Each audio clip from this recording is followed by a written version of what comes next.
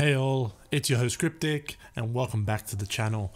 Today we've got a pretty exciting video um, and a great update that rolled out or is rolling out throughout the week and that's VRR, variable refresh rate for the PlayStation 5. It has rolled out here down under in Australia. Um, it may not have rolled out in your region as of yet, but you should have it by the end of the week. That's what Sony has promised. Um, I'm going to step you through how to have your PlayStation 5 VRR ready and if your TV is VRR compatible, how to get all that enabled and working. So there are also some issues I came across that you may also come across. I'm going to discuss those here to troubleshoot them. So without making this intro any longer than it needs to be, let's get straight into it. So the first thing you want to do is you want to go to your settings from settings, go down to system, system software, and then go down to system software update and settings. Now you want to update system software and update using the internet.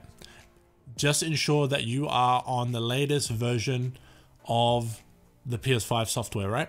If you leave your PS5 on hibernate or sleep, it should have updated everything normally, done it all correctly already overnight, and you should have it enabled. If it doesn't show up as an option, guys, to have VRR, turn off the PS5 and turn it back on. So once that update is done, what then you want to do is you want to get your compatible VRR TV. Here I have the Sony X90J, which got its update for VRR well over a month ago now, along with the X90H series and all the um, K series TVs that are rolling out now by Sony that are VRR compatible out of the box. So if you have a TV that has VRR or has recently been patched with it, then you're good. You want to go home and then settings. From settings then, you want to go to channels and inputs. From channels and inputs, you want to go to external inputs. And then you want to go to HDMI signal format. Now, these wordings might be slightly different depending on the brand of TV and the operating system that your TV uses. As you know, Sony TVs use Google OS or Android OS. So these are the, or these, this is the jargon that it uses for us to get to that part in the menu. Now you want to scroll down to which HDMI is HDMI 2.1 enabled and that your PS5 is connected to. My one currently is connected to HDMI 3, which is the eARC. Um, my TV allows HDMI 3 and 4 to be 2.1 enabled, and the others are 2.0. So once you select your HDMI, you want to go down to Enhanced Format VRR. Previously, I had it on the Dolby Vision because that's what I was using because um, I was watching Netflix and a whole bunch of other things through the HDMI port and the proprietary um, HDR that the PS5 uses. But here we want enhanced format VRR. That's going to enable variable refresh rate on the TV on that HDMI port. Once that's done, exit out of that and let's go back to the PS5's menu. So once we get to the PS5 menu, you want to then navigate back to your settings go down to screen and video.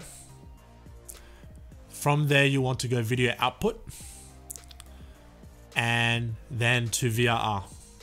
Now, if your TV supports VRR, it should automatically switch on as long as you enable it without resetting the PS5. But now you're going to see an error happen that you may come across. Your TV doesn't support VRR. You're like, wait a minute, but we just enabled VR. We know the X90J is VR enabled. So the situation that I found with myself, I have a Sony soundbar that supports HDMI 2.1, 4K 60, 4K 120, and Dolby Vision, Dolby Atmos. So it has 2.1 pass through, but the bitrate must be limited on it because it's not passing through the VRR requirement. So when I plug in the PS5 to the soundbar and then the soundbar's HDMI to HDMI 3, it's saying it's not supported. So it could be that that soundbar or the AV system you have may have one of the bugged or bandwidth limited 4K HDMI 2.1 chipsets. If that's the case, we're going to unplug the soundbar's HDMI and we're going to unplug the HDMI for the PS5 directly out of the soundbar and we're going to reroute it to HDMI 3 on the back of the TV or whatever HDMI you're using on your TV that enables VRR, 4K, 120, etc. So I'm going to be plugging that in as you can see right now straight into my eARC HDMI 3. So PS5 is now directly plugged into the TV. Give me a moment here while I struggle to get it in, but I do get it in guys. Alright, now that's in, it's asked me to set up. I'm not going to do that right now, I'll worry about it later. And there you go. VRR is now enabled on automatic.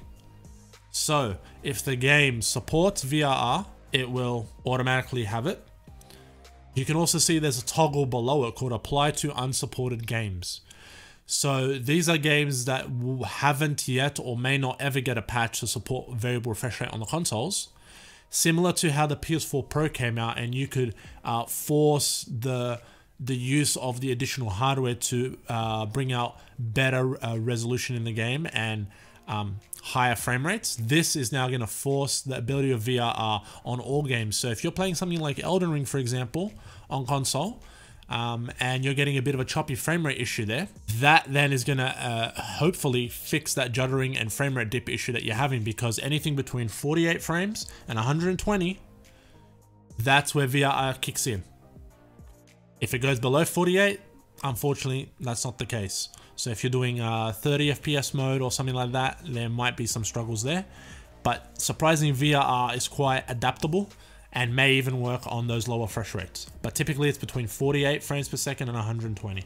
Same as for 48 Hertz and 120 Hertz.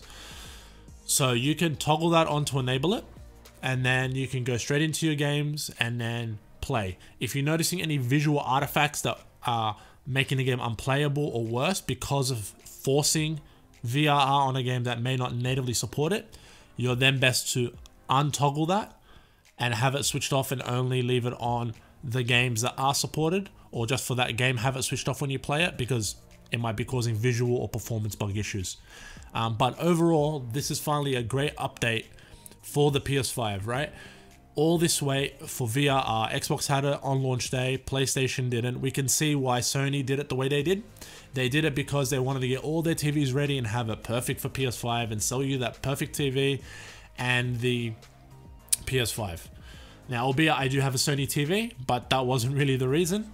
Um, just because I had one before before I had a PS5 and figured I might as well continue. But hey guys, if the video has been helpful, hit the thumbs up, comment, share, subscribe, and thank you to all the subscribers that have helped me or helped us go past 300 subs. We're well on our way to hitting 500 subs before the end of the year. I'd like to thank all of you very, very much for that.